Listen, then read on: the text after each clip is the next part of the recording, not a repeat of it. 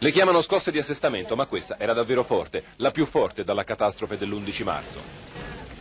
7,1 è l'intensità e il Giappone trema al ricordo della strage, 27.000 tra morti e dispersi. Questa volta le vittime sono solo 4, 130 i feriti.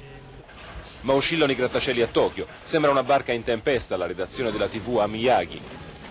In tutta la prefettura e sulla costa nord-est è allarme tsunami, poi l'onda non arriva, ma alla centrale di Fukushima i tecnici che lottano per fermare le fughe di radiazioni vengono brevemente evacuati e poco dopo altra brutta notizia.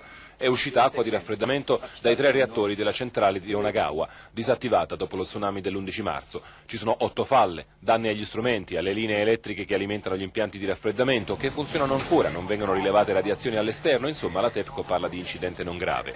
Ma è un ulteriore monito su quanto questi impianti siano vulnerabili a scosse di terremoto. Resta la paura. Fuggi fuggi tra i clienti di un albergo che sono stati sbalzati nei letti.